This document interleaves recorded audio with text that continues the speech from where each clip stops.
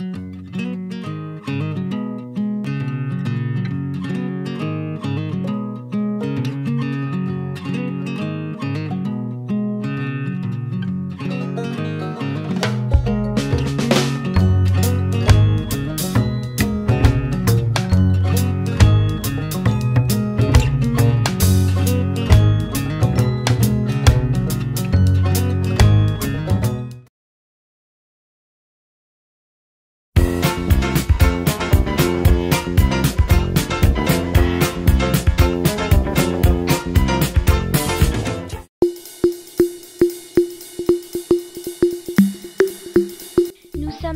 de Guingamp vers 18h30.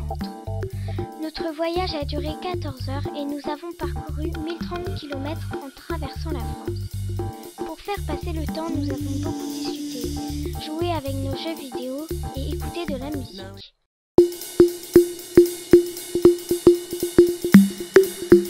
Tous les matins, nous étions réveillés avec un air de flûte. Pour les filles, de la flûte traversière et pour les garçons, un air de flûte irlandaise. Les chambres étaient très confortables, c'était super. Tous les matins, le personnel nous préparait un bon petit déjeuner. Les tables étaient installées. Nous attendions avec impatience les moments de repas, car nous avions faim, très faim.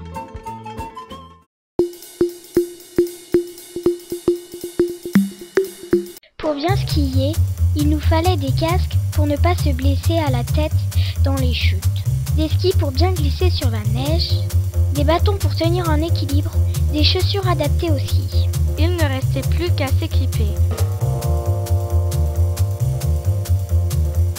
Et voilà, allez, maintenant touchus. Attention de ne pas croiser nos skis comme notre ami Léonard.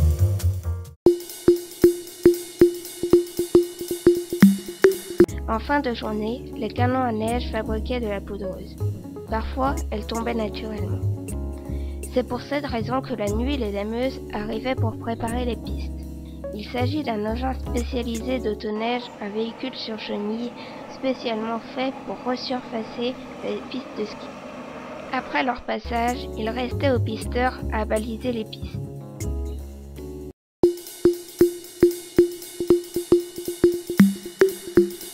La piste verte. C'est une piste pour les débutants. Nous avons commencé par celle-là. Nous y avons appris les bases. La piste noire. Pour la réussir, il faut être un crack, car elle est vraiment difficile. Il y a souvent des bosses. La piste rouge. Pour emprunter cette piste, il faut au moins sa première étoile. Certaines étaient difficiles. La piste bleue. C'est une piste avec un peu plus de dénivelé. On y a appris à virer et à utiliser la pente avec le ski à mont.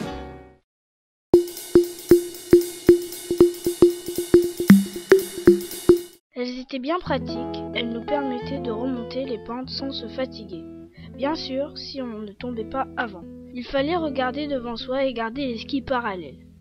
Nous avions la chance de nous trouver dans une réserve naturelle où les animaux et la végétation étaient protégés. L'aigle royal, le bouquetin, le chamois, La marmotte, le lièvre, le gypaète barbu. C'est un des plus grands oiseaux au monde. Il y en a plus beaucoup.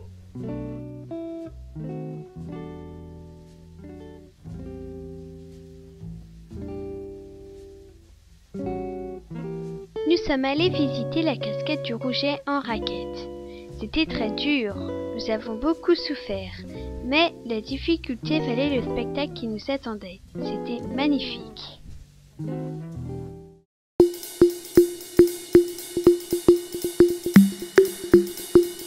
Le village de Somras possède une station moderne située à 1600 mètres.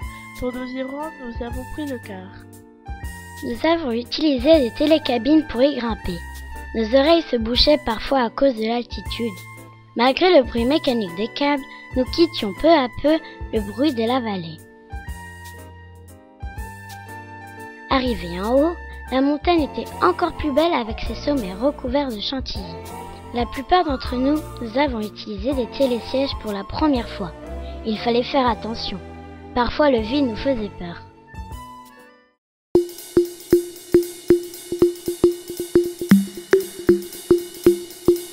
Le vendredi, à Six, il avait bien neigé. Les CM2 ont voulu s'amuser. Des courses de lieu se sont organisées.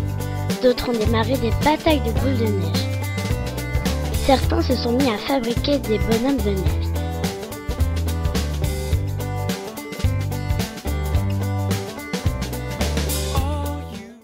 Certains soirs, il y avait des veillées. Installés dans la cantine, nous étions très concentrés afin de ne pas louper les numéros annoncés.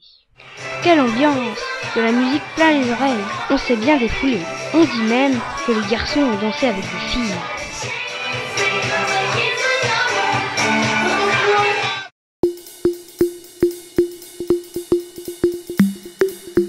Certains ont eu le flocon. Ça veut dire que l'on commence à enchaîner des petits virages en chasse-neige et faire des petits sauts sur un ou deux skis. D'autres ont reçu la première étoile. Ils commencent à déraper sur la piste et réussissent dans les virages à ramener les skis parallèles en glissant sur une pente faible ou moyenne. Enfin, deux skieuses ont obtenu étoile de bronze. Les demi skieuses du groupe, à coup sûr.